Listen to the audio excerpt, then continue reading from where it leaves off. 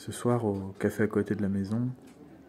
il y avait une masterclass de montage vidéo menée par euh, Dimitri Defoe. C'est un petit miracle, parce que, à ma connaissance, ça n'a jamais eu lieu à Calais. C'était chouette de croiser un type qui avait à peu près les mêmes euh, préoccupations que moi, à propos des, des raccords, les compositions du cadre, etc. Après ça, j'ai passé la soirée avec euh, Julia, que je n'avais pas vue depuis presque deux mois, et on a discuté pendant trois ou quatre heures de notre travail documentaire, de projets qu'on a eu, qu'on est en train de faire, qu'on va peut-être faire ou pas. Ça fait du bien quand même de temps en temps de, je sais pas, dire faire société ou, dire qu'on travaille pas dans son coin sur une île, qu'il y a des îles à côté, avec tout pareil, un, un naufragé dessus, son petit Robinson filmeur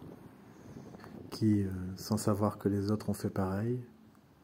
passe euh, sa solitude en compagnie d'une caméra qu'il a baptisée vendredi.